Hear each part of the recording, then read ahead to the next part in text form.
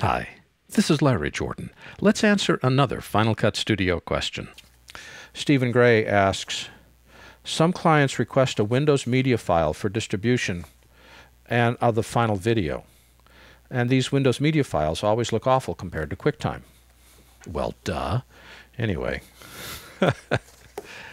ideally, for Windows media files, what you want to do is create the QuickTime inside Final Cut and send the file over to a PC and have the PC uh, compress it. You're going to get probably the best results by doing compression on a PC for a PC. If, on the other hand, that's not an option, and I don't own a PC here of the 12 computers I've got in the office, you want to use a program from Telestream called Flip4Mac. That's F L I P, the number 4 M A C. Flip4Mac.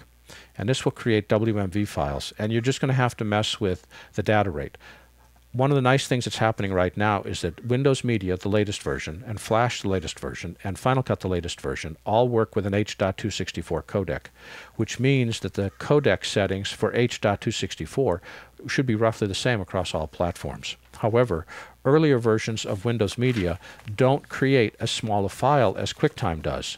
To get the same quality, you're going to need to have a larger file size, which is one of the things that you'd want to experiment with as you're doing your compression.